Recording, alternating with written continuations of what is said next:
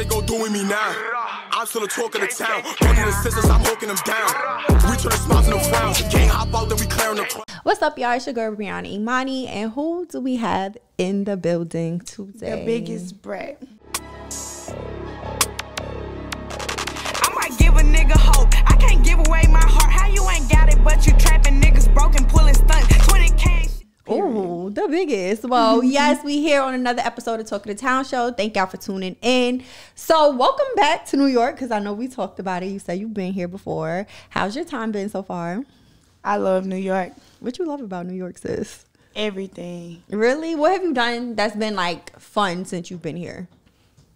And it could be working too, cause working. Um, I went to Metro signing yesterday. It was just like a good vibe, and I was like, it was just crazy to see the line wrapped around the building. So that kind of made me happy. yeah, they show him a lot of love out here. Uh, What do you think about um heroes and villains? I love it. It's fire. Trance is my shit. That's my that's one of my favorite songs on there. What songs you be bumping on there? I like creepers. Okay, Creepers is a good one too. Yeah. Okay, so since you've been here, um, have you been tapping in with anybody like any artists or producers out here? Um, I worked with Dizzy Banko. Okay, shout out to Diz. and I haven't been working with no artists out here. Okay, would you like to? Is there anybody that you've been listening to out here? Um, Lola Brooke, that don't play with the song. Yeah, I, I like that song, and um, I listen to Paris Bryant. Okay, okay. Yeah. Nice. Okay, I could definitely. I knew you were gonna say Lola because y'all have that hard sound. Like I feel like I could see y'all on a track together. Maybe one Okay. day. Yeah. okay. Okay, cool. So let's go through for those who don't know. I know you're from Chattanooga. So walk us through like what it was like growing up there. Chattanooga was fun. Like, it was everything. I mean, as a kid, long as you protected from what's dangerous and you running around like the hood and shit, like you having fun. You don't know like everything that's bad going on because your mm-hmm. parents blinded you from that shit. Like you mm-hmm. just having fun. Um, for the most part, as an adult, I really like too much wasn't interested in staying in Chattanooga because I feel like the world was way much bigger than that. Mm. Okay. So at what point did you decide to and then you moved to what, Atlanta? No, I graduated at 16 and moved to Murfreesboro, Tennessee. Okay. Shout out to you for graduating at 16. Yeah. Okay. I'm, I'm smart.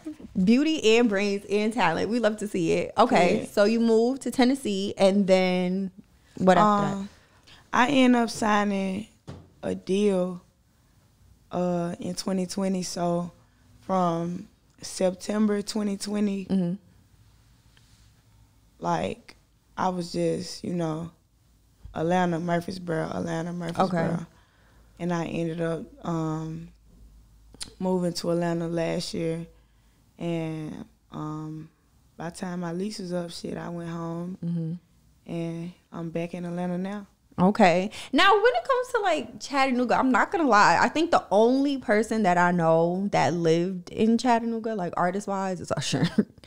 is Yeah. there any other like artists or anybody out there that you be listening to or that you want to shout out that we should be tapped into?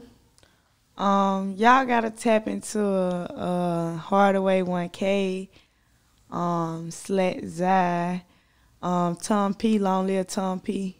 Um, his voice could just like it's just I don't know. It's like it enhance your mood, and then on top of that, like it could just make you feel like you got somebody. Like listening to him. He's a rapper, singer. He's a singer. He can rap too, though. Oh, okay. I'm gonna check him out. Okay. Um, female wise, I know in a few of my interviews, I really ain't been too much mentioning females, or I really ain't even just too much been getting deep into the Chattanooga artists, hmm cause I've been forgetting. But female wise, we got Robin J, Okay. Shout out. Um, Shout him out. we got Carmel Kitty, we got um, her name is, I think, Queen.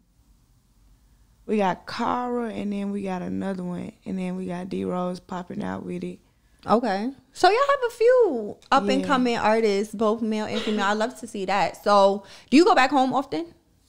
Yeah. Yeah. And like how would you compare Chattanooga now from your adult eyes, how would you compare like Chattanooga to Atlanta? Um, Chattanooga is just like so washed up compared to Atlanta. Like Mm.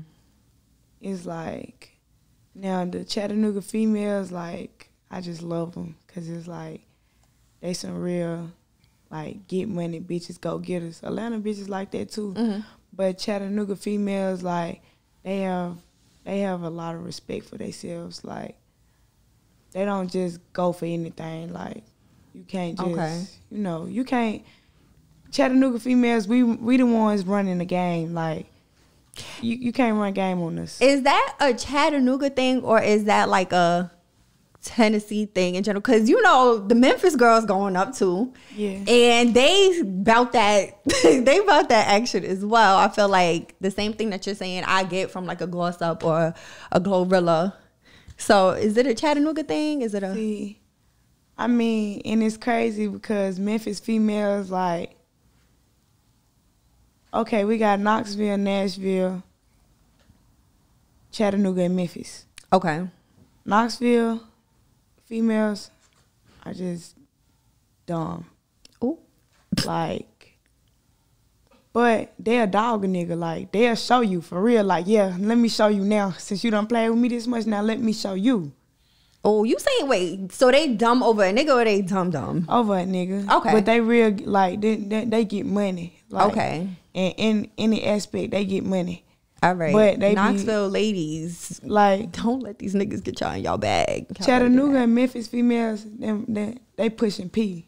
Like Okay. I can see a Memphis female telling a nigga, man, I know you lying. Shut the fuck up. Mm-hmm, like mm-hmm. and I could just see them running so much game. I could see a Chattanooga bitch running so much game and just so player like. Mm-hmm.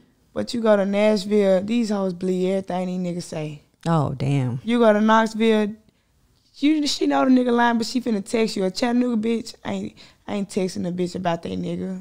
And I don't really too Okay. much seeing a Memphis female text a bitch about that nigga. Like them the players, them the player states. Then you Okay. got Jackson, Tennessee. You really put me on game here. Yeah. this. Okay, so Jackson. You got Jackson, Tennessee. Like that's the most freaked out city in Tennessee. Ooh. Like- they be giving it up. Over But they that's what you- females like they females the type like they embarrass a nigga like embarrass them. Like how like they gonna go laugh about a nigga his draws like they Oh, gonna put oh, but you know what I'm saying right there and damn. dealt with all that shit Right, but right. you I always think that like before you before you really expose your baby father, your ex for wearing them dirty drawers and all of that, just remember at one point You was that was still- your man, your you- man, your man. you you you could stick through And it you was sticking beside okay So okay, so that's interesting. Thank you for putting me on because I wouldn't have known that. And it's funny because like in New York, we have like you know boroughs. You have certain things that you associate with like ladies and even the niggas in different boroughs. But to hear it like in a different state and how y'all break it down in y'all cities is so interesting to me. Yeah. So um, what's like one of your favorite memories from back home? Um, my favorite memory from back home is I gotta say, um, is a paintballing memory when I was with my cousin, um, Jalen. He passed away. I got him tatted on my neck right here. Um, we was paintballing and we went to the projects and like we was like because i'm from the east side and it was like the east was the east side was going against the west side. Like you know everybody was going against everybody. You feel what i'm saying? So it was like um we had slid on them with the paintball guns or whatever. So as i'm running back like we had this it was probably like 16 steps like mm-hmm. to get up, and it was like steep steps because we mm-hmm. in a project hallway, so you know it got to be real steep. Mm-hmm. So like we going up the project hallway, so I run up, but they too close behind me. I jump from the top of the 16 step and Oh, end up leaning backwards and falling down. So I, f- I knocked the wind out of my body, Oh my god. and it was like I couldn't breathe. I thought I had to go to the hospital. How old were you? Um, I was 16. Oh, okay. So this is not that long ago. Yeah, but I had just it was like March 2020. Mm. But um but on our way there we got pulled over. So I really was supposed to go home Mm-hmm. right then and there as soon as I got pulled over and somebody had to come get me. You see the way life works. They, Yeah. The universe is gonna tell you. You see, you knew what you were supposed to be doing, and it wasn't this. So I'm Yeah. gonna teach you a lesson real so quick. I ain't called my mama after after I fe- I fell on my back and I um I knocked the wind out of my body. My back was in pain like that whole day. Mm. But we went and got my mom said don't have no boys in your car. So anyways, like we we we loaded up in that motherfucker. Mm-hmm. And we we um spent through a hood called D Drive. Um it's in kind of like a quiet neighbor, like mm, a little. It's right next to the east side. We spent through there, and um, a man had threw a pink power weight at my house. I mean, at my car. So we thought it was like a pink smoke bomb, like a paint a paint bomb. So we just started hitting his ass with the paintballs. Like we fucked him up. Like so he got in his car. He chased us down, and um, we had finally got back on the east side. And he he pulled up on the side of us. He was like, "I want to fight." Oh shit. So my cousin Jalen got out, and all the niggas got out the cars, and like mm-hmm. once he drove by and seen it was a whole bunch of niggas, we was standing with the door open. My cousin Jalen was standing right here, and I was standing right there, and I was like, "We finna gang him." Next thing you know, he dri- he driving his car real real fast. Boom! My cousin Jalen pushed me in the car, and he jumped on top of the hood. He did it. That boy hit my door. What? I could not close my door no more. So then that's when I had called my mom and we went to his house. Uh-huh. She And was it was I just- told ass. she took my car. It was just so much. oh my gosh, that's so crazy. But that sounds so fun. Yeah, that was my favorite memory. So you you reference the east and west side a lot too. Is that like a thing in um in Chattanooga where it's like the east side has a certain type of vibe or something like that, and the west side has a different one? Um, we got the east side, the south side, the west side, and the north, which is not is not in a it's not in the north, but we call it the north. Mm. Um, the east side is where I'm from. Okay. and it's just like it's just I love I love my hood. I love it. But my daddy from the south side. Mm-hmm. So and my mom from the east side also. So Okay. but I'm a daddy's girl. Oh. So whenever I was with my daddy, I was out be on the south. south side. Whenever I was out with my mom, I was out east. Mm-hmm. But I'm from the east. That's where my heart at. So I just gotta say the Mm. east side the best side. I'm from the east too. Not not that east, but East New York. So we got that little connection between the New York Chattanooga connection. So another thing that I was really happy that you um brought up was this memory because you spoke about your cousin Jalen, who I know played a big role in your life, and you consider him to be like your brother.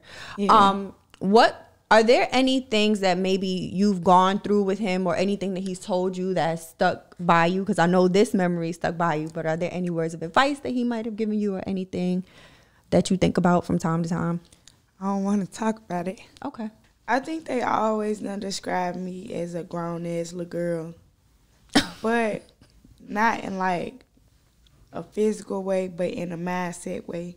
Okay. Because I feel like a lot of times when older people call younger kids grown, it's always like a negative stigma. Whereas you can be grown, you just mature.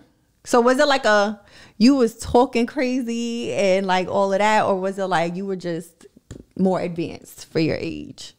Well, like I always done been more advanced, but I don't necessarily it be like talking crazy. Mm-hmm. It'll be me being smart, but saying it in a sarcastic way, like you know. Okay. Like she too fucking grown. Right. Get your child. Right. Watch your mouth. Like who right, who whose child did this? Okay. So um now when did you start making music? I've been making music all my life, Okay. but I started taking a career in music at like 17. Okay. 16, 17. So what was it that made you want to actually start taking it seriously? I just felt like I wasn't regular, and I feel like I can't be a regular person. Mm-hmm. I just feel like I just had to be it, like, and that's what I wanted back then. But it be like, once you really get this shit and you get where you want to be, and it's some shit that you can't do, and you be like, damn, I wish I was regular. I'd be able to do this. Like what? Argue with people online. So do you you be checking comments and stuff like that? Not no more, cause I'm childish. And you reply back all day. so I got time. We could get into it. Okay. So you don't check comments, but which is good. Because like you said, sometimes it'll get the best of you and then you know people try to start pulling stories out of anything. So Yeah. I'm glad that you were keeping it to yourself and you don't entertain it. And some people also do it for attention too. So Yeah. there's also that. Um, so who were you listening to when you were growing up? Eight Ball, goddamn Young Jeezy, Yo Gotti, Future, Oh, Chief Keef. I been, I I think I'm so toxic because like I just grew up on Future, Mm, the Um, Toxic King.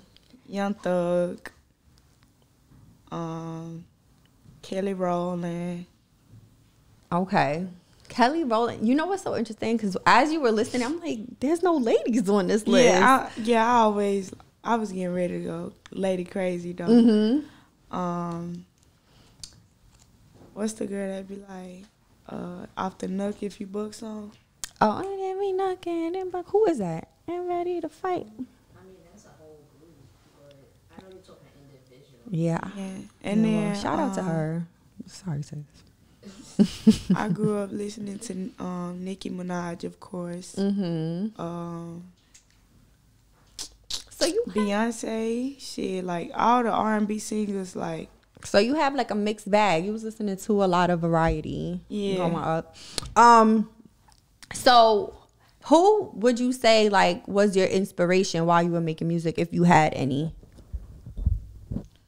um, Yo Gotti Mm. and Young Jeezy growing up. Like that's somebody who really like you know was influencing me. What was it about them?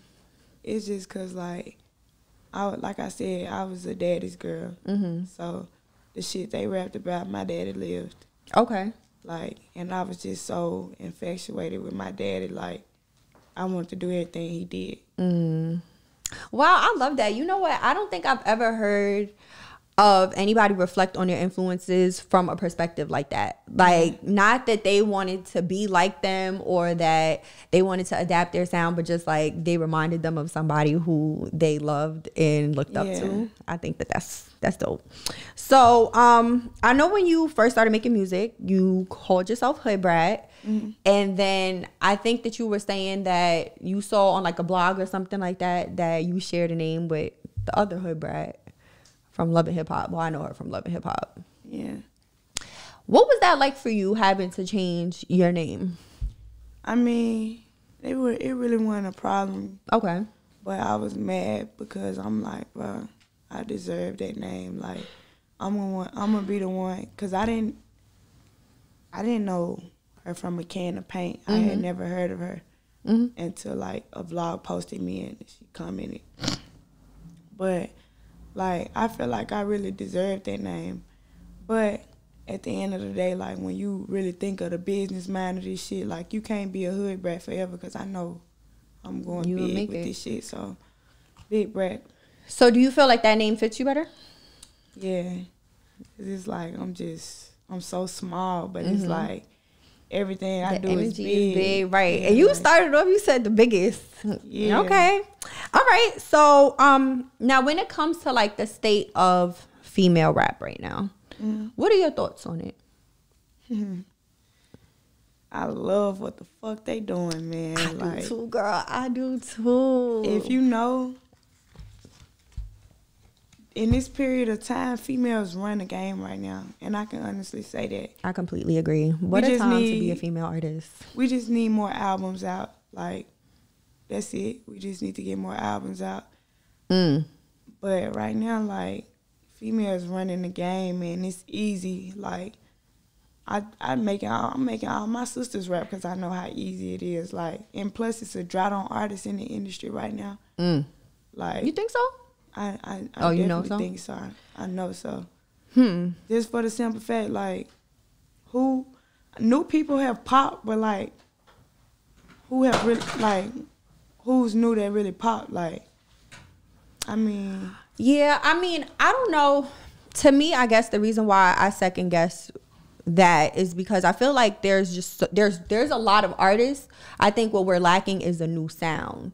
But I think that there are a lot of artists that are making music that sounds similar because they think that that's what what's working, and that's why it seems like it's taking so long for somebody else to pop because people are looking for something different, and that's what's missing, in my opinion.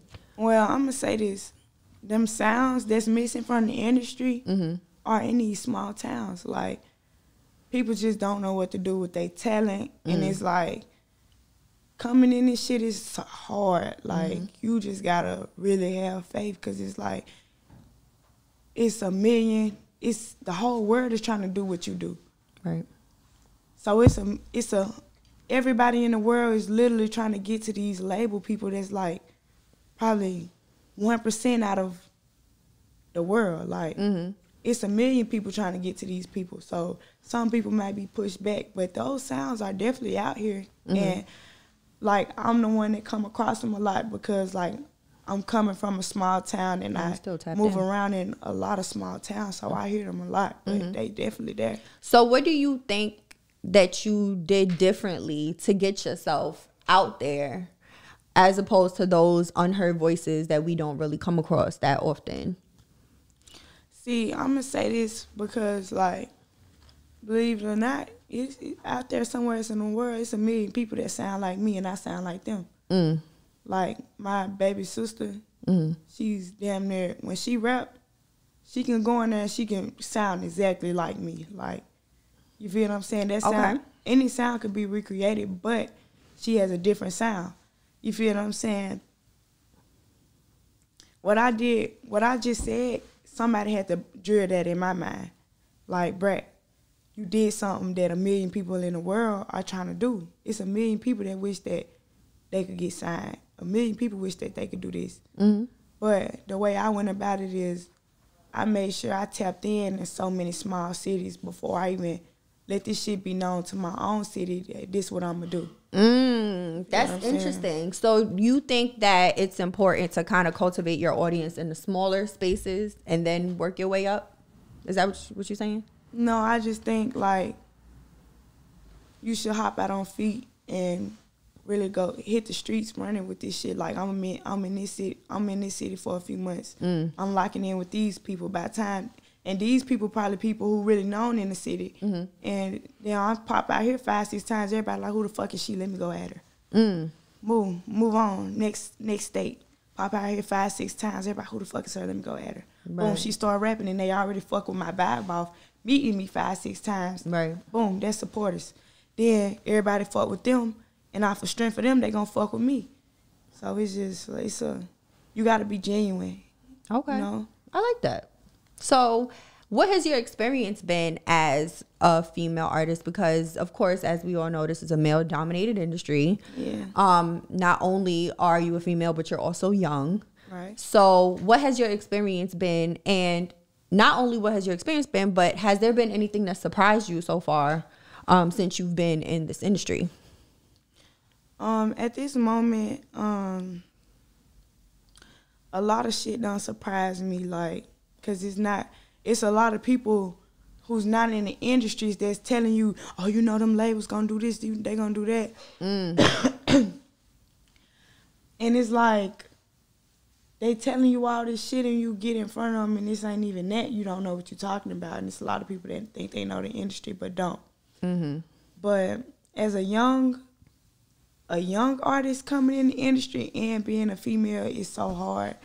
And it's just like everybody first of all, I'm not gullible, but you can think that, Mm-hmm. you know, like That's what they they automatically assume, especially Yeah, you know being young. they think, oh, she she 19, you can give her this and she'll be all right. And you can tell her this and you can tell her that, but they don't know like they think maybe because I'm young and I'm a female, they can just push like they females get like handled, and then you being young, they think they try to lowball you, Right.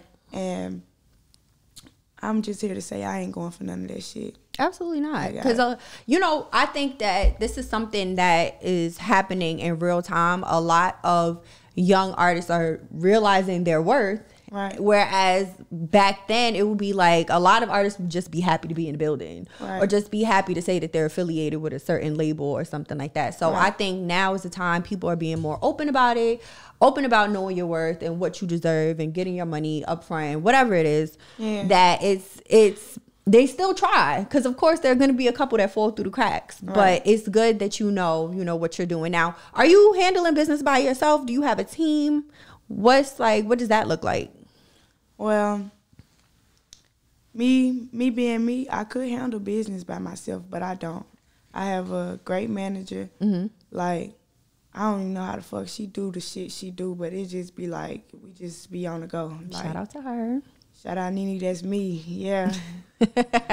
um, my two CEOs and Meezy and Hefe, like, they just too hands on with me. Like, they know everything.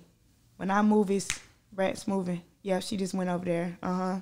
i love that okay that's good and I, I i asked just because i didn't know but i think it's so important to have a team a lot of people like to oh i did this shit by myself like i'm handling this on my own but sometimes it's really good to have a team that'll ground you make sure you're good and make sure you get in what you I, need I can't. so I that's can't say that. I can say. I can say, I got I got to them. I got to my team by myself. Mhm. But every like they just took so much weight off my shoulders. Like Mm-hmm. That's dope. So, in the vein of being a female artist, um, Ashanti went on the Breakfast Club not too long ago, and she was talking about how there was a producer who basically wanted to exchange his services for sex or like to take a shower with her or something like that. Um, a, have there been any experiences where like you've come across any shady characters in the industry? Um, and then two, are there any people who assume that you got where you got because of something like sexual or like you selling yourself down um as a woman? I mean, that shit happened to that shit happened to everybody. Like I'm talking about motherfuckers. It don't even be like maybe like I give a beat for you to fuck me or something, but it just be like you a vibe with somebody and they have end up having a crush on you. And it's like, bro, we handling business, gone. And it's like, all right, I'm gone, but we cool. You know, it ain't went that far with me yet. Um, and then what else did you ask me? If there are people who assume that Yes, yes, I hear that a lot, and like I handle business for real. Like I stand on real business. I ain't gotta do this and do that. Like Mhm. when you a real genuine person and you never cheat the process, that shit gonna be done for you. Mm-hmm. Let them know. So, what are your thoughts on like the critics who say women, like the tougher women in hip hop, need to tap more into their like femininity and their sexier side or make like sexier music? What do you think about that? Yeah, see, I'm one of the masculine rap, rapping females. I guess masculine rapping females. I guess that's what they call it. Um, I be so like like, it's like they they be like, damn, a nigga don't a nigga don't want no bitch like that. But it's like when you when we rapping like that and shit, it's like, yeah, this was going on. But like if I was to gen- like genuinely love somebody, I would be so soft towards them.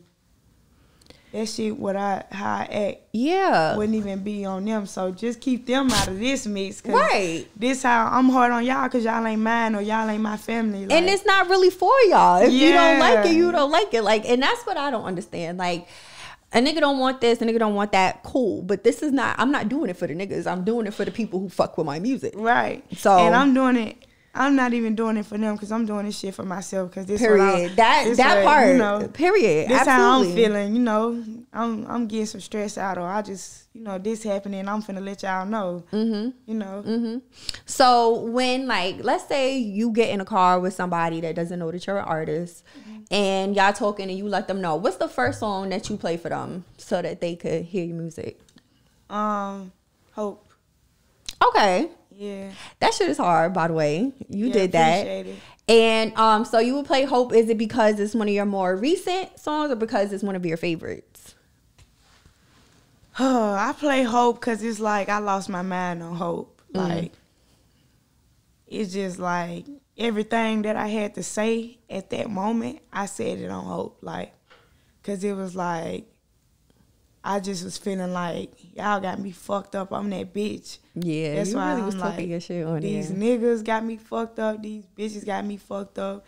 And then like I'm slick bragging, like you know my nigga gonna stand on smokers like I'm fucking on the devil. Like I ain't worried about shit. My nigga gonna handle that. Like you know, hope was just oh my gosh. So, what does your creative process look like? Like when you go in the stool, do you already have like something in mind, or is it like all happening in real time? Um, lately, I'm gonna say this. I have not had an original Big Bratt session in a minute. When I go like these last three months, when I have been going in the studio, like I've been writing in the studio. Like we just been vibing out in the studio, writing in the studio, like to beats. But like originally, like I would write at home Mm-hmm. and find a beat, and I already had a whole song finished before I get to the studio. Mm. Beat before song, beat before lyrics, or lyrics before a beat. lyrics before beat. That's interesting because I know like some people listen to the beat and then they be like, mm, like coming up with what they want to say or like the rhythm of that they want to go with, and then they. I, I feel like I so make that's so interesting. I make great music beat before lyric, but it's like it's just so much better, like and so much more detailed when I sit at home and write it. Cause it's like I'll go from the couch to my bed to the floor, like play with the dog for a little while, like mm-hmm. laying on the counter and shit. Like it's like a good phone conversation. I was, I swear, I was just thinking it's giving phone call vibes. Yeah, like like up it- on the it's a- wall, walking through the house. Yeah. Okay, I understand. So that's dope. So if you had to describe your sound, how would you describe it? I think I'm aggressive as fuck, but I come off aggressive too. You come off aggressive. You saying like in general or just I mean, it's it's some it's a, t- a Tennessee thing. Like mm-hmm. Tennessee females are just more aggressive. Like mm-hmm. like it's like you know females would be like, if we see a nigga we like, we like, oh yeah, you we pushing the issue like, oh, oh, yeah, you, shooting your shot? yeah, like yeah, I like you when you coming home with me, Oh, y'all bobo. but you don't really be coming home with me. Y'all just going home with your number tonight. Like Uh huh. Yeah. See, I feel like a lot of people say that about New York ladies too, that we're aggressive, but I haven't made it to that that level yet. I mean, it's I- like we aggressive, but it's a, just a different aggressive because it's not really too much aggressive. It's like we really be joking, you know. And it just to me it seems like you know what you want, you going after it. I definitely know what I want in life. Like in every aspect of life, I know what I want. Mm-hmm. So let's get into the tea because we we did enough. You know, I I know you. We we getting to know you more. So let's really get into it. So first, I want to start off with there's a video that I saw of you um on top of a car, and you was like how to handle a nigga who ain't shit or something, and you was breaking the windshield. How did you see that? I don't disclose my sources. So who sis. in my Finsta page? I don't disclose my sources, sis. What is tea with that? What happened? You really want to know what happened? I do. It ain't no tea. You watch my my mu- music videos, you see me smash. You see what's crazy? I was like, I know this is probably like a BTS, like you was just like playing around or something, but I'm like, okay. But it does lead me to my next. We what- actually uh we actually bought the car just to smash the windows. And it still it's giving it, big budget. it still it still drove and everything. Like How did that feel? Smashing. Have you ever busted the windows out of somebody's car before? On your Jazmine Sullivan shit? I, No. I um I flat a tire. I was that was gonna be my next question. What's the craziest thing you've done over a nigga? I knew he wasn't at home. I parked my car down the street and I um knocked on the door. His mom didn't even know we was beefing. She opened the door. She was like, "Hey," and I was like, "Hey, don't tell him I'm here." and I shit, I hid. And you was waiting for that ass at the door. Yeah, I was waiting. On, I was waiting on that ass. like, what the fuck you think this is?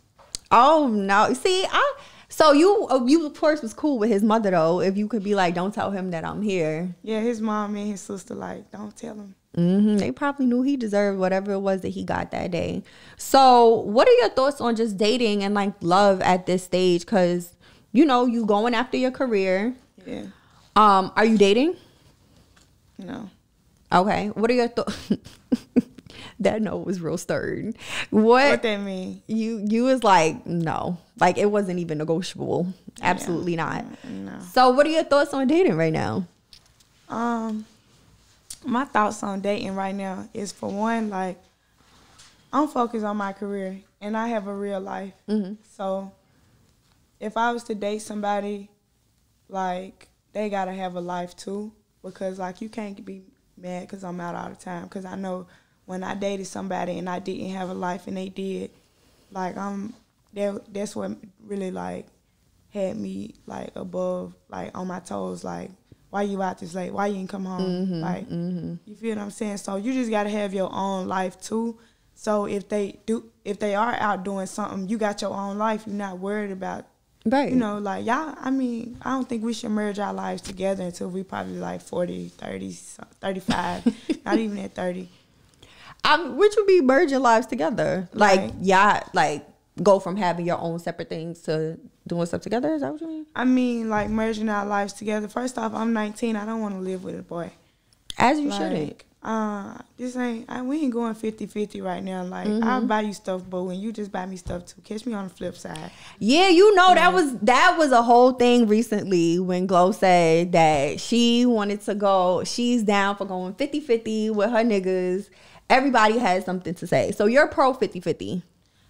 No, Oh, like I just I don't. I'm too young to be staying with you. So what we gonna go 50-50 on? Like okay. I'll pay my own rent. You pay your own rent. I pay for my own car. You pay for your own car. How you feel about like going out, dates, activities? Huh? What is going on? I thought it was an It felt like, earthquake. a, it felt like an earthquake in this bitch. Okay. Yeah, what what do you think about like 50-50 dates, activities, trips? See, um, I feel like when it come to dates, activities, and trips, Mm-hmm. dates, I feel like they should always be taken care of by the man because, like, I didn't think that at first, and my little vibe, Mm-hmm. he was telling me like, stop doing that. He was like, I don't care if you like if you're going out with me or anybody else, never offer to pay. Don't don't ever do that. I think it's situational. I think I learned the same thing the hard way because eventually, when you do that, you set the tone for these niggas and they they Right. they're expecting it. But I think that sometimes you know you could take your man out. I, I mean, Okay, no. I mean, like I wouldn't take a man on a date. I'll take a man on a trip. oh, you thinking big?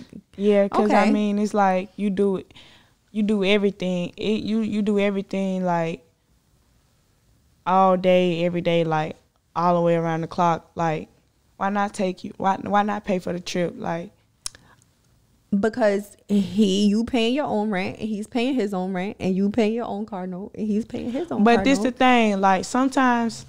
It could be like, yeah, I pay my own, but Nick, like, if you fucking with a genuine, a real nigga, Mm-hmm. he's that rent is going to be paid. That car note is going to be paid. That but was I me will, playing devil advocate. I but, like that answer. But I will pay my own. Like I'm not asking you to pay it, but if you got a real nigga, he gonna it's gonna already be paid. You ain't gotta ask. Right, but, right, right. Like Shout out to all the real niggas out there. to know, like yeah, I will pay my own rent. You feel what I'm saying? Mm-hmm. So like I just I just know like we can't go 50-50, but I just I just know a nigga gonna take care of that. Talk your shit, sis. But And you said that real confidently. Yeah, so I I, know, know, you yeah. mean what you say. yeah, that's that's why right now like I talked to, I talked to somebody, but I ain't we ain't dating, we ain't we ain't on all that. We just conversating and you just Okay. Be in my peace when I'm just like got too much going on. I can call you. Okay. So that's we fair. we talking on the phone. that's fair. So you ain't got to pay my rent and shit. Okay. So what Yeah. type of like what's your like ideal type of like you like the hood niggas, you like the balance? I like I like a made man. Like Mm. I like a man that take care of his family and take handle his business. I mean, hood niggas are cool, but it's like I'm too old for that now. Like I got a career. That's T that you just said that because you Yeah. 19 saying you I too know, old for the right? hood niggas. It's like it's just like I'm just so grown now. Like I can't do a hood nigga, baby. Like I got I have a career, I have a career, and I have a six year old baby brother that's damn near like my child. Mm-hmm. So you can't just no. I don't need that type of environment around us. Like when I when I when I was a hood bitch, that was that was cool. mm-hmm. You know, but and still like if I do talk to a hood nigga, it gotta be like a made man. Like Right. he a hood nigga, but he ain't the nigga you ain't you gonna see in the hood. Like you got Mm-hmm. you gotta go through a few people to talk Also, to him. if you know, you know type you shit. feel what I'm saying? You know what I have to say about you? Like through this conversation, like you really seem to have a great head on your shoulders. Yeah. and um you're very mature and Yeah. like it's just like speaking to you i feel like i didn't really have any expectations but i'm present pleasantly surprised Right. because i feel like there are a lot of people out here not only artists but a lot of people who go up and they they're dense they don't really have much substance or um a lot to like speak on and stand on and i feel like you're very sure of yourself so Right. shout out to you for that Thank you. um, but of course, I have to ask you because the tea with the famous twins, Yeah. that was you in a different place. Because the the girl I'm sitting across from right now, and who I saw in the lives and the videos and stuff, it looks like two different people at this Right. point. So let's get into that as much as you're willing to share. Yeah. What is the backstory with that, and where is it now? Like, what's the situation now? Um, I'm gonna say this. All of this escalated of my song being stole for one. For two, me reacting like I'm 19, you know. Like sometimes I react out of being young. Like I should have carried that as I carrying myself now. But it was like I was just so angry at the moment. Like I reacted in an angry way. Like I reacted before even thinking about mm-hmm. reacting, you know, and in the position I'm in now, I just feel like I'm not going to look for problems, so nobody should be approaching me, you know. Mm-hmm. And plus, like I gotta make it home by any circumstances because I take care of my whole family. Mm-hmm. Like by any means, I gotta Right. make it home. So Right. anything I need to do to make it home, like So, so is this an ongoing thing? Have y'all resolved the issues at this point? at this point, like it's no issue on my end, mm-hmm. and it shouldn't even be a issue on anybody else end because it's like that shit does not matter to me. Like Right. I don't even.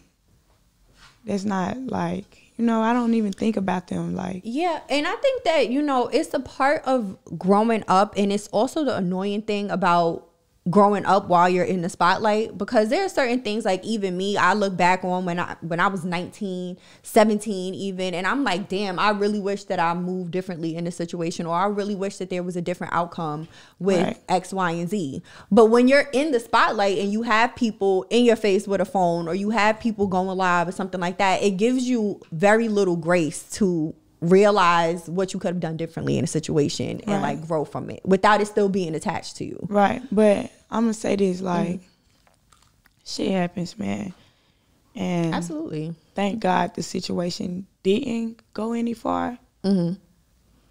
It's just pointless, you know. Like, every, I've been living my life like all this year, and it didn't happen. But once I get in the spotlight, it happens. Yeah. So I'm not worried about it. Like Yeah. I'm still living my life. Like I'm in New York right now. Been here seven days, damn near, As you should. and I'm having a good time. Shit. So now what I'm gonna ask you, and this is the last thing we gotta talk about on that topic, is has was there anything that you learned from that situation that you'll carry on with you moving forward if anything else like that arises? Because you said it started from them stealing your. Was that the act up? Okay. Ah, you know a lot. As I should. This is my job. Yeah. Um, so it was that. Okay, so let's say Hope, you know, is out, and then you just happen to be scrolling on YouTube, and somebody that called a name small spoil girl or something, she got your whole your whole song different beat. How do you approach the situation then? And this is I first of all, when I was 15 and I approached the situation, it was direct message, mm-hmm. begging, please delete it. It wasn't deleted, and then it hit the media. But I, it wasn't a song that I could just go and strike down or anything like that. So if this would happen in this, me being 19 and this happened, I wouldn't say nothing at all. I got the best lawyer in the game. Period. You let your lawyers do the talking. Yeah, my lawyer gonna back that shit up. Okay, love that. You see, like I said, Yeah. I could tell even before I asked you that, just in talking to you, that who I'm sitting across from right now is different than what I was seeing. So I'm very happy that you were able I'm to set the I'm a- straight. Like, I'm gonna say this to anybody watching this video. Like, anything you see on social media, like, never take that shit and run with it. You gotta get your own vibe. Mm. Yeah. That's tea. So now what I want to ask you too is let's say you had a documentary made about you. You know, when the documentary first start, they got the person that come in the camera, like, yo, we good, we good, like, and they start talking. Who would if let's say it was right now, who would be the first person in your documentary to talk? And what do you think that they would say? My daddy would be the first one in my documentary to talk. Cause like that's my best friend in the whole wide world. Mm-hmm. and like I just would let him talk, and then like it just got to be wrapped up by my mama though, cause like she gonna end the show and she gonna end it exactly how it should be ended. Okay. But um, my dad, like I gotta give it to my dad. Um, And what do you think he would say about you in the beginning? My daddy has a crazy word a word play, and I don't know what he's gonna say, but I know that's just gonna be the way to start the movie. you kick it off the right way. Okay. All right. That makes sense to me. Okay. So now, next part of it is in the documentary, of course, they would talk about you being signed, Uh-huh. not only being signed to 21 in Metro, which shout out to you. Congratulations. That's amazing. Thank you. But you've been signed twice. yeah. And that is big, especially at your age. Yeah. Um, so now before we get into the 21 in Metro conversation, what happened with your previous situation when you were signed? Um, shit, they just dropped me.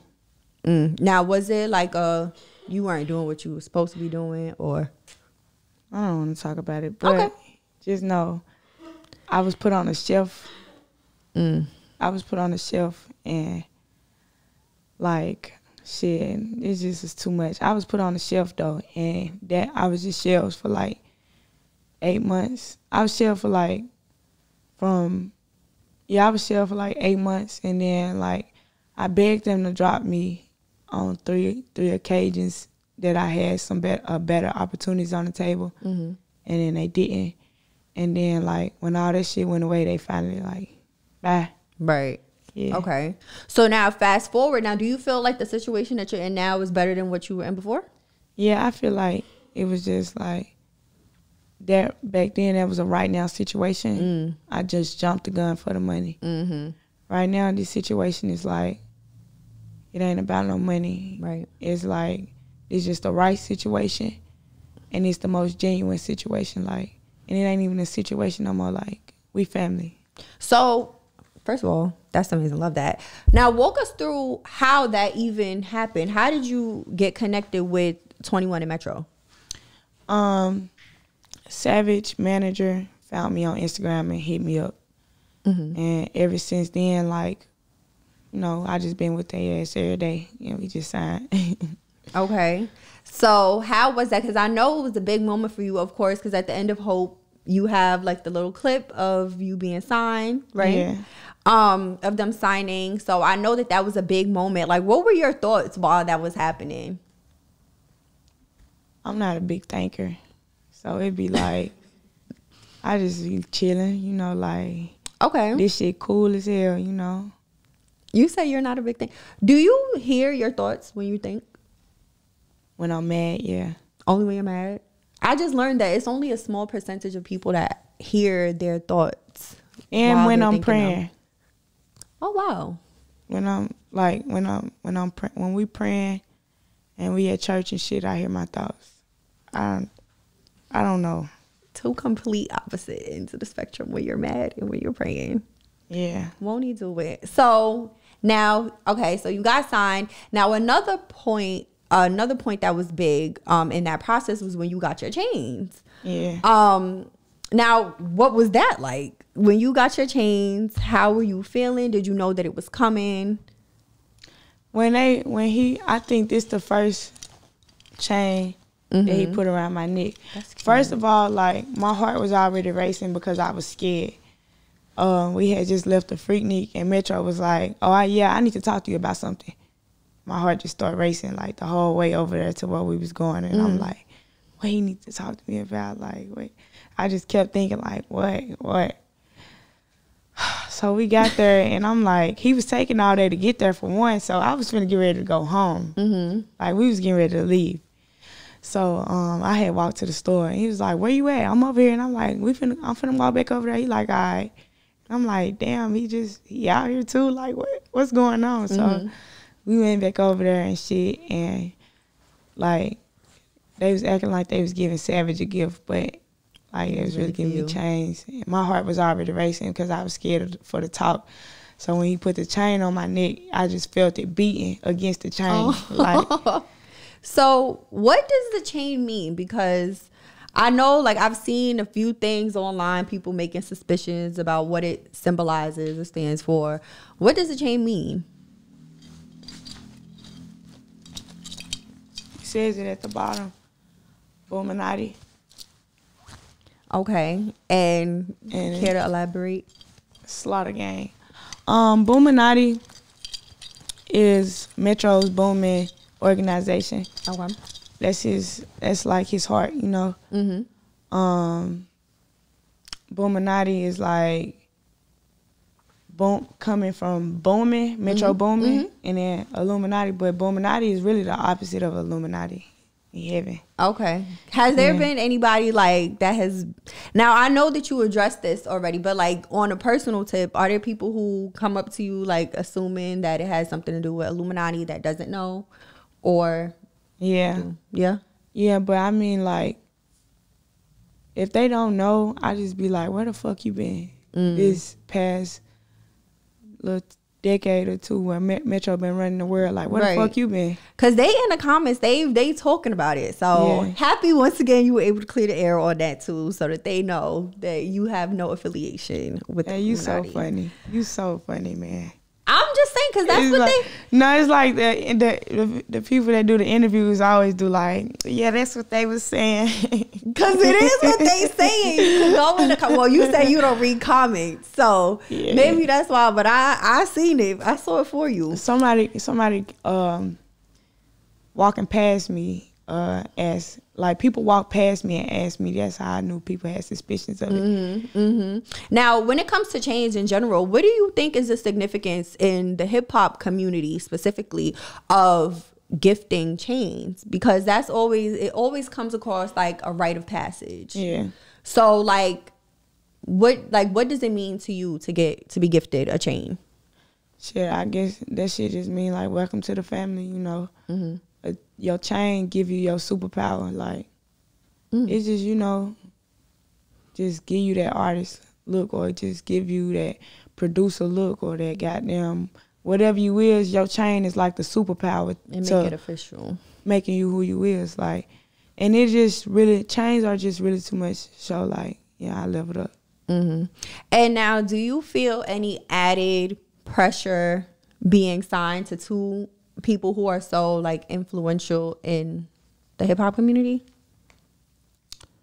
Um, I wouldn't say I feel pressure, but I just feel like like for one, my CEOs are them niggas. Period. So I'm that bitch, and I gotta let y'all know I'm that bitch, and I ain't finna put out anything that's not giving that bitch. Mm-hmm. Okay, so are, is there like any conversations that they be having with you? Like, do they give you words of encouragement, advice? Like, how does that look? That dynamic look? Metro, Metro, um, like he's a very like spiritual person.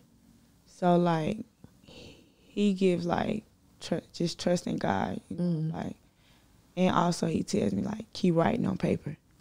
Mm.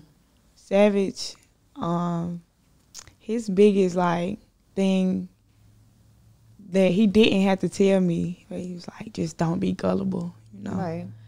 And Meezy, he just like, cause Meezy kind of like a CEO to me too, cause it's like, he really like take care of everything. Mm-hmm. Um, he like, he just he tell me everything, but he be like, I know you know, that's why I'm so proud of you, cause you already know, like, you know. Right. So wait, you said something interesting about Metro that he said continue writing on paper. yeah. So is that like as opposed to writing in your notes, like on your phone, or is that just like keep writing your shit?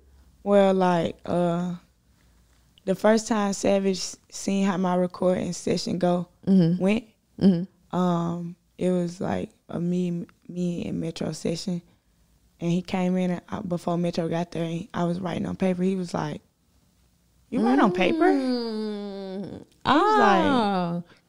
That's interesting." yeah. He was like, Especially now. he was yeah. He was like, "I ain't seen that in a minute." And then he was talking to us. We chopped it up for a minute. And then he went home. Metro came in and he was like, "You write on paper?" and I was like, "Yeah." He was like, "That's interesting." He was like, Not those. "You got to keep doing it." So how do you make sure that you don't like lose your stuff, lose your material? You must be very organized. I wouldn't say I'm very organized, but I just I ain't lo- I ain't lost it yet. and won't. I don't gotta know what to knock on, but so um okay, so now what have been, if any, like the perks, and we're gonna move on after this, but like the perks of signing to a label like Slaughter Gang as opposed to a more corporate type of situation. Um, I just feel like my CEOs, my big brothers, would like they genuine. They ain't, it ain't about a dollar. Mm. Like they don't give a fuck about no money. Like they not trying to make no money off me. Like Mm. they really genuinely just want to see me win. Right. And it's like the major labels, like they just see a dollar sign. Like, And I mean, you have the experience, so you're not just talking; you Yeah. literally going through it. So, it's what you what can you make me like when you can't make them nothing it's Mhm. fuck you Mm -hmm. like my CEOs would never ever treat Well- me how a major label would treat me I definitely love that for you, and I really wish you well in that situation. Well, I know you said it's not a situation; it's a family, but Yeah. moving forward, just seeing that it's really, really dope. A lot of people probably would love to have the opportunity, so you have it. We love to see it, and congratulations again on that. Thank you Um, so I saw also um that you had like a picture with Drake. That was real cute. Yeah. Um, have there been any other like run-ins with like more mainstream artists that you really liked that you like think about or that surprises you that you even in the same rooms? mm. Drake introduced me to Lil Baby so Okay. like you know that was cool because like Lil Baby like I love Lil Baby Mhm. can't what you say about Lil Baby like yeah shut up Shut up, his mad funny. yeah like Okay. So like how is it cuz I know that you in Atlanta now. So like what is that like now you around there, you in the mix, you are around a lot of these artists who are mainstream. What does that feel like? Shit, the same shit. Being Okay. around my friends, cause I mean, you wouldn't know these niggas rappers unless they tell you. Like, Mm-hmm. if you ain't have no phone and was just blind to the world, you wouldn't know. Now, is it like a a chill, non music related vibe? Do y'all listen to each other's music, give feedback to each other? Like, what is it? Like, how does it? I mean, everybody like we'll play some shit, but other than that, like we be vibing. Okay. Like everybody be vibing, but right now it's at a point where like everybody want to know what Big Bratt doing. Mm-hmm. Everybody want to hear Big Bratt. Like So, when Big Bratt needs an honest opinion on something that she's gonna put out, who's the go to? uh, The first person. my first person I would go to is Nene, but I'll go to Harold too. Tw- Okay. Twenty One Little Harold. I'll go to him too. Okay. Shout out Nene. Um, so how do you manage like your personal life and your work life? Like your friends and family? What does that balance look like? I mean, um, with my friend, how I balance my friends and my family, like I'm really t- at a point where like I'm pushing them into this life. Like, Oh really? yeah, well, I know you said that about your sister and your friends. yeah. So you trying to but to make music or to be in the back end, wherever they fit in? I just got a bad habit of making everybody rap. Like, I can make you rap. Oh, listen, all I need is a couple pulls and I'm quick to pull out a little tight beat. Start freestyling. Yeah. Um, That's very funny. But how I balance it is because like you can't first of all you can't bring your personal life onto your artist life like Mm-hmm. you can't you can't do that like say for example if I was going through a breakup like I can't get online and bash this person cuz it's like now everybody in the business and it's like mm-hmm. you know cuz I ain't I ain't no regular person now Right. if nobody knew me yeah your ass to be fired up on social media Right. but everybody know me, so I can't get on here and say, fuck that nigga, he did this, and let me go laugh about this nigga. Like, I can't do that. Yeah, you can't go out bad like that, sis. But- so okay. Like, you just, I don't know, you gotta keep it separate. Do you have days where you like dedicate to family and friends, no work? Or- Definitely. yeah. Like, um, the days my baby brother come in town, Mm-hmm. I don't do no- nothing unless he like, I want to see you go work in the studio. Then I would go. But if he don't that's say it, then I won't do it. Okay. Okay, that's really nice. So now when it comes to friends, like are you like a no new friends type girl? Are you like open to making new friends as you go along in your career? What are your thoughts? Genuine. Like, if it's genuine, Mm-hmm. it's genuine. Like I ain't tripping. You gotta meet new people. Like you, this person can genuinely have something to offer for you, but want to, but want to genuinely private like friendship. You mm-hmm. know, not even private, like a behind the scenes of your career, like Right. like outside the career friendship, and they are genuine. Like, or like you might fuck around and meet a groupie like that's you done pass that I done passed to the bros or something, and it's like, you know, like yeah, like I my we if it's a pretty girl, I will say, hey, my brother like you, yeah. Okay, so 'Cause you it like mean a lot wing woman to your bros. I mean, like, I do have brothers, and I am a rapper, and it's like I'm a female rapper, so I mean, bitches, you know, like, and it's like, you a real one for that, honestly. yeah, I love I- that. I don't play. My my all my brother got to say is, "Ooh, she cute." I'm like, yeah, all right. Hey, He wants you. Okay, so if you had to describe yourself in three words, what would you use? Three words. Yeah. I would say I'm very passionate. Okay. I'm genuine, and I'm nonchalant. Okay. It gives. Yeah. I can see that. All right. And then now, like when it comes to like the bigger picture, what is it that you hope to get out of this music career? I just want to be um the next Jay Z. Okay. Now, is it just you, you want to be the next Jay Z in terms of him being such an influential part of the culture? Is it that mm-hmm. you want to be business and music? Like, what is it about Jay Z that makes you use him as an example? I mean, I don't know because I'm 19 years old. But in my eyes, I feel like Jay Z one of the biggest male influencers right now, and like he have his own label, he got his own building. It's no female artist that stand. I mean, Beyonce, she's most like the most powerful in my eyes. Hmm. But like, well, do Beyonce have a label? No, I don't think so. She, does. She does.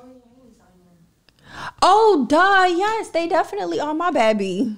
My, sorry, I love you, Beyonce, and I'm sorry. I'm so sorry. I didn't know Beyonce had a label, but rap wise, I want to be like the next female Jay Z. Like, I want to be like the biggest influential in the industry. Like, have my own label. Like, I just want to help.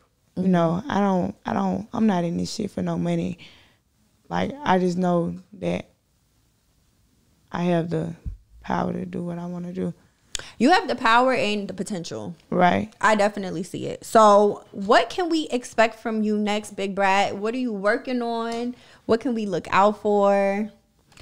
Um, I have a um single that's about to drop, Okay. and it has a feature on it.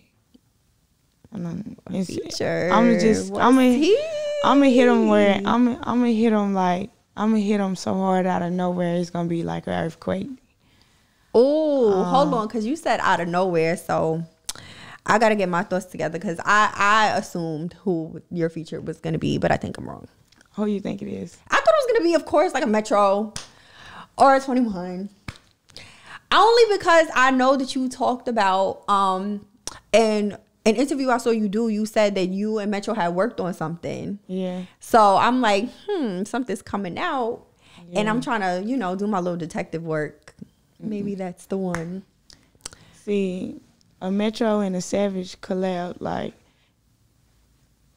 that's something that's all like that shit already like you know that there's no problem. Mm-hmm. Um, cause I mean that is like you know, but this one is like it's just it's not gonna All right. Male or female? Any many money more. it's a male. It's a male artist. Okay, nice little dynamic there. Okay, well, I'm looking forward to it. Yeah. So, is there anything else before we wrap up that you want to talk about? Let the people know. Anybody want to shout out? The floor is yours, sis. Shout out my label, that's me. I'm in these BBTV. No, shout out to the gang though. Shout out to my family, you know. Shout out to everybody goddamn who pushing behind me. Well, thank you, Big Bratt, for stopping by. I hope Period. you have a safe flight back home. We're really happy to have you here. And we're looking forward to seeing all the things that you have coming. Period. Thanks for having me on here. Of course. Bye, y'all. Toodles.